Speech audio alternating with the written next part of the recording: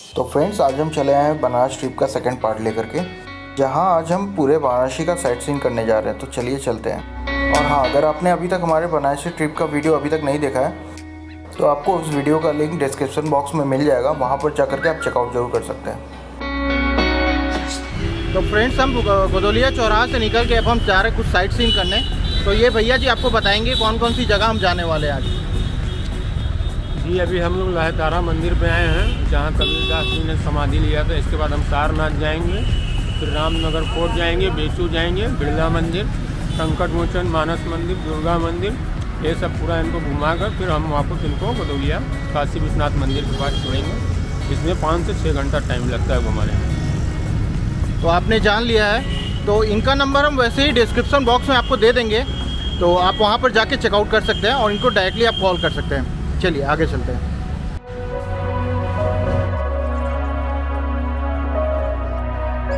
तो सबसे पहले हम लहतारा के मंदिर में आ गए। यहाँ पर हमने कबीर जी का दर्शन किया। और सामने जैसा कि आप देख सकते हैं, बहुत ही भव्य मंदिर है। और थोड़ा सा आगे जाने के बाद हमें मंदिर का गेट दिखा, जहाँ से हमें एंट्री करना था। बट फ़िलहाल कंस्ट्रक्शन के कारण वो अभी बंद थी। इसी कारण कबीर जी की मूर्ति को नीचे बैठा गया और साथ ही साथ यहाँ पर ही श्री हुजूर उदित नाम साहिब की समाधि भी यहीं बैठाई गई है।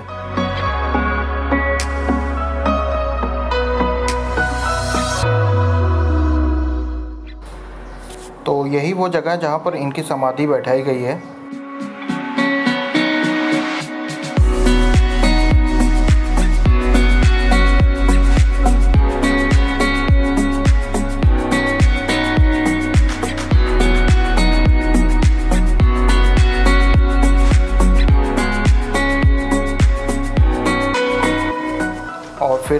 कबीर जी का दर्शन किया। बहुत ही सुंदर मूर्ति है। फ़िलहाल अभी कंस्ट्रक्शन के कारण यहाँ नीचे बैठाई गई है।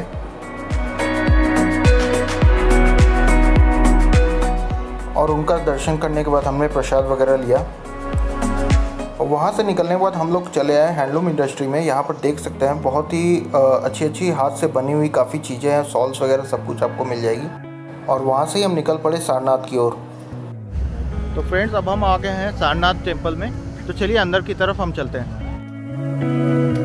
वैसे तो सारनाथ वाराणसी के फ़ेमस स्पॉट में से एक है। तो फ्रेंड्स सारनाथ में आपको घूमने के लिए कई जगहें मिल जाएँगी, जिसमें कि सारनाथ टेंपल है, सारंगनाथ मंदिर है, यहाँ के बौद्ध टेंपल हुए, यहाँ का तिब्बत टेंपल और यहाँ का स्तूप, जो कि पूरे भारतवर्ष में बहुत ही प्रसिद्ध है। वैसे हमने सारनाथ सीरीज़ का पूरा एक अलग सा वीडियो बना के रखा हुआ है। उस वीडियो की लिंक आपको नीचे डिस्क्रिप्शन बॉक्स में मिल जाएँगी। साथ ही साथ आप ऊपर आई बटन से भी इस वीडियो को चेकआउट कर सकते हैं।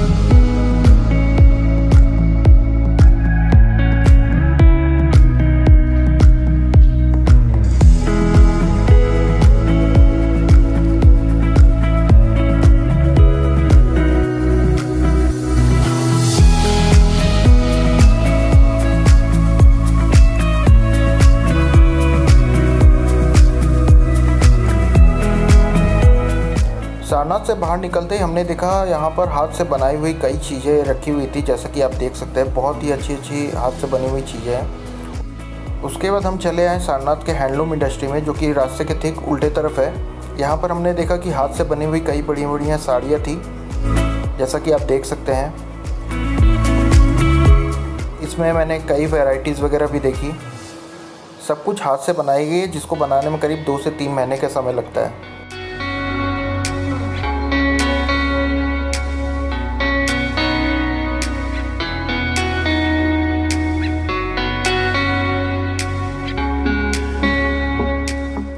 अलावा यहाँ पर आपको कई और चीज़ें मिल जाएँगी जो कि सब कुछ हाथ से बनी हुई है। आप, यहाँ पर आराम से बैठ सकते हैं देख सकते हैं चूज़ कर सकते हैं जो आपको पसंद हो आप लीजिए। एंड उसके बाद हम अंदर की ओर गए। अंदर जाने के बाद हमने देखा बहुत ही अच्छी अच्छी लेडीज़ सूट्स वगैरह फिर शर्ट के पीस वगैरह सब कुछ आपको मिल जाएँगे। आप यहाँ पर एक बार ज़रूर देख सकते हैं।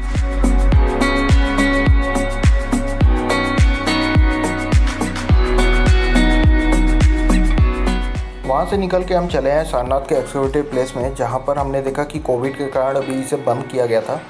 और यही वो जगह है जहाँ पर भगवान बुद्ध का असल मंदिर, जो कि स्तूप जिसे कहा जाता है, यहाँ अंदर में है, जिसे अशोक सम्राट ने बनवाया था। फ़िलहाल कोविड की वजह से बंद होने के कारण हम अंदर नहीं जा सके। आप ज़रूर जा कर के एक बार ज़रूर देखिएगा, बहुत ही सुंदर ये स्तूप। वहाँ से थोड़ी ही दूर चलने के बाद हम चले आए सारंगनाथ मंदिर में। जहाँ भगवान शिव शंकर की दो शिवलिंग है। तो चलिए हम आप सबको दिखाते हैं ऊपर। यहाँ से हम ऊपर की ओर गए। यहाँ हमने सभी देवी देवताओं का दर्शन किया। और उसके बाद हम चले आए भगवान शिव का दर्शन करने, जहाँ पर आप देख सकते हैं नीचे दो शिवलिंग है, जो कि बहुत ही सुंदर लग रही थी देखने में।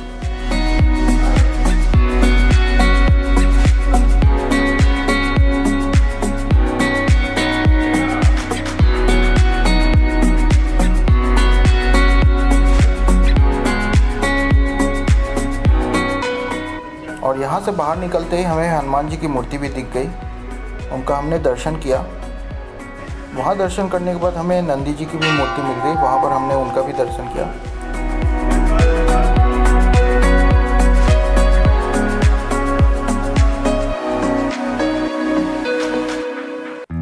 तो फ्रेंड्स, सारंगनाथ मंदिर से होते हुए हम सारनाथ के तिब्बत टेंपल में चले आए। वैसे तो इस टेंपल का जितना भी देख रेख से लेकर सब कुछ मेंटेनेंस है सारा की सारा तिब्बत गवर्नमेंट ही करती है। और इसके अलावा दलाई लामा जब भी भारत आता है तो यहाँ पर ही आके ठहरते हैं।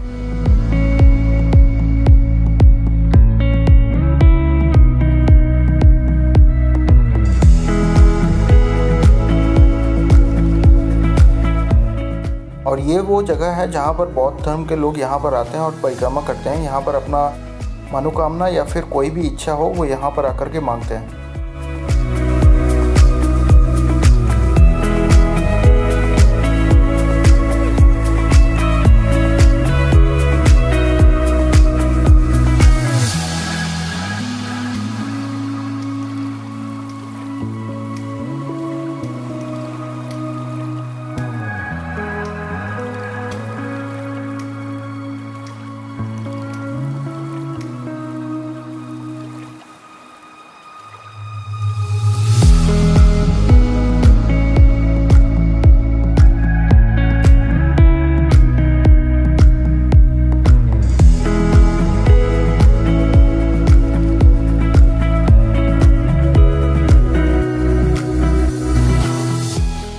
फ़िलहाल जैसा कि आप सामने देख सकते हैं, यही वो तिब्बत टेंपल है, जो कि अभी फ़िलहाल कोविड की वजह से भी बंद है।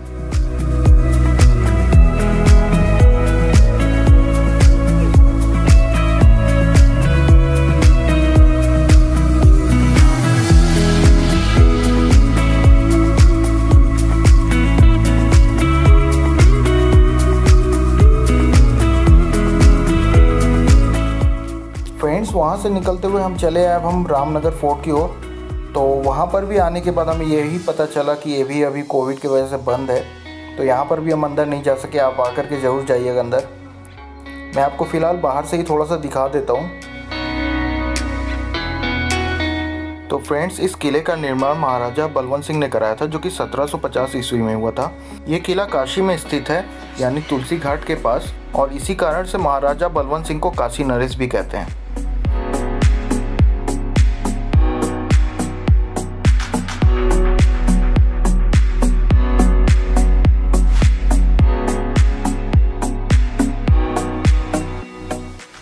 वहाँ से होते हुए हम सीधे चले आए बी एच यू जो कि बनारस हिंदू यूनिवर्सिटी है।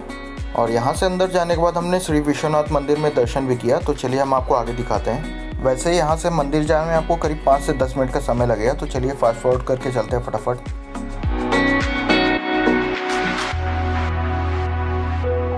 तो करीब पाँच से दस मिनट चल के हम फाइनली श्री विश्वनाथ मंदिर के गेट पे आ गए हैं। और यहाँ से अब हम अंदर चल रहे हैं।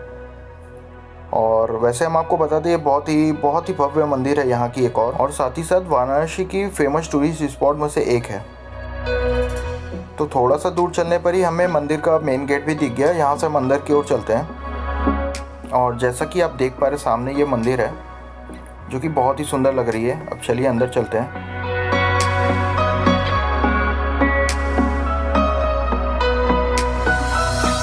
और ये सामने मंदिर का कॉरिडोर है। ये जो सामने आप देख पा रही ये पंचमुख महादेव है। वहाँ से थोड़ा आगे चलते ही हमने बजरंगबली का दर्शन भी किया।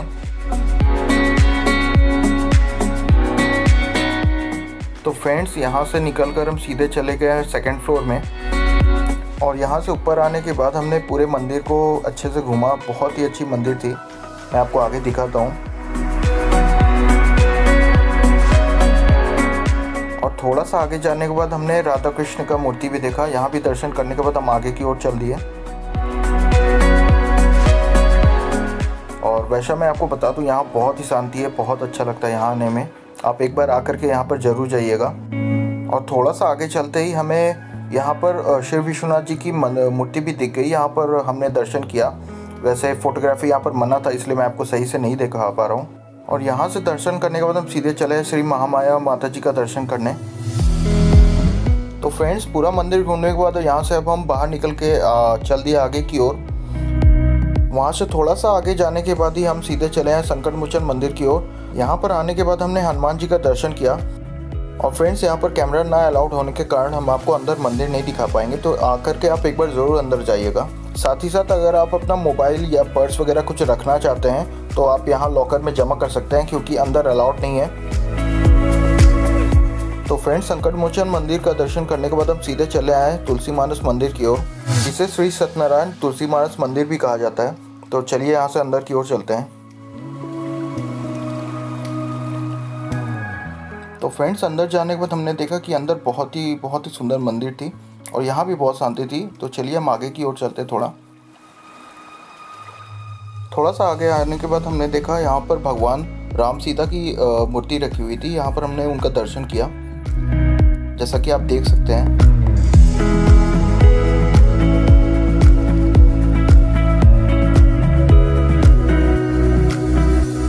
तो फ्रेंड्स, दर्शन करने के बाद हम सीधे यहाँ से बाहर निकल आए।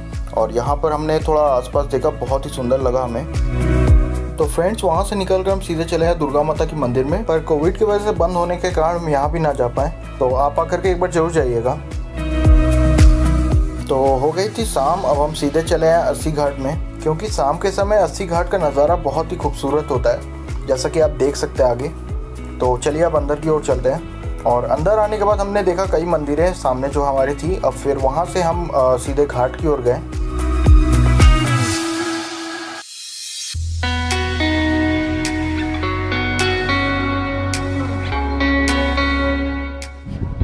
पीछे देख सकते हैं, ये है अस्सी घाट तो चलिए इसकी व्यू देखते हैं, बहुत ही खूबसूरत व्यू है। थोड़ा आगे की तरफ़ चलते हैं, फिर आपको दिखाते हैं।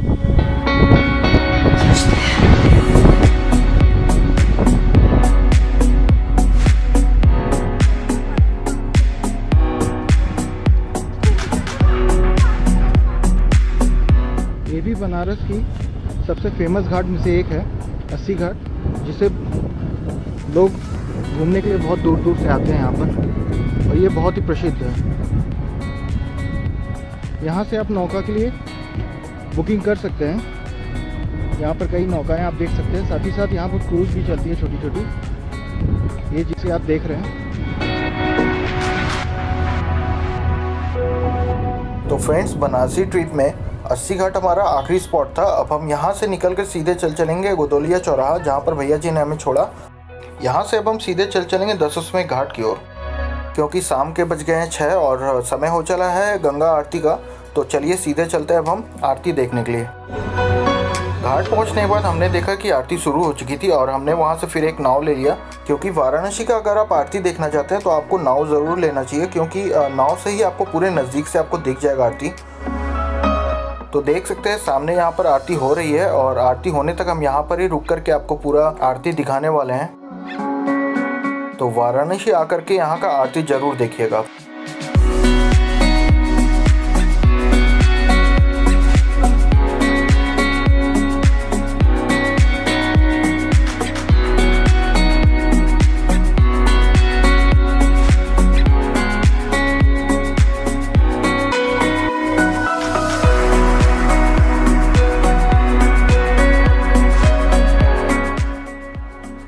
बनारस में अब हो गई है सुबह अगले दिन। और अभी हम फ़िलहाल हैं अपने होटल के टेरेस में मीन्स छत पे। और पूरा बनारस अगर आप यहाँ से देखें तो बहुत ही खूबसूरत लगती है। मैं आपको दिखाता हूँ चारों ओर।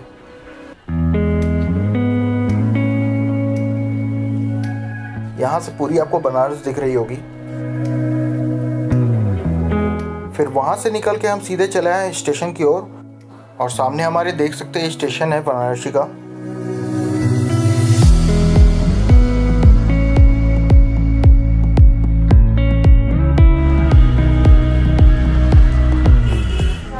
फ्रेंड्स बनारस की ट्रिप को अब हम लोग कंप्लीट करते हुए चलते हैं अपने नए ट्रिप की तरफ़, जो कि है हमारी जयपुर की ट्रिप तो चलिए, अब हम आगे स्टेशन की तरफ़ चलते हैं।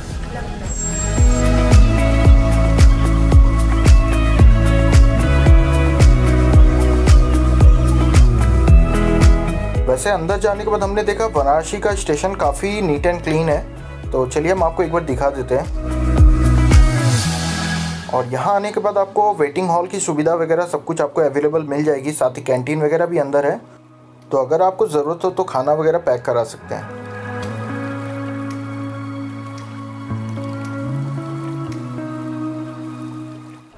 फ्रेंड्स जयपुर जाने के लिए अपनी ट्रेन की टाइमिंग हो गई है और हम जाने वाले हैं बनारस से मरुधर एक्सप्रेस से। ये हमारी ट्रेन लग चुकी है।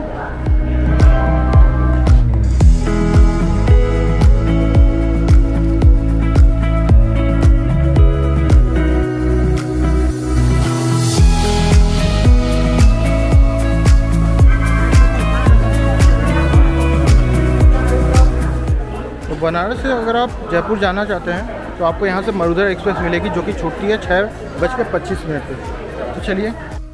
तो फ्रेंड्स अगर आपको हमारी बनारसी ट्रिप का ये वीडियो पसंद आई है तो इसको ज़रूर लाइक कीजिएगा। और साथ ही साथ, अगर आप हमारे साथ जयपुर घूमना चाहते हैं तो उस वीडियो का लिंक हमने नीचे डिस्क्रिप्शन बॉक्स में और ऊपर आई बटन में दे रखा है, वहाँ जाके आप ज़रूर चेकआउट कर सकते हैं। तो चलिए चलते हैं जयपुर घूमने।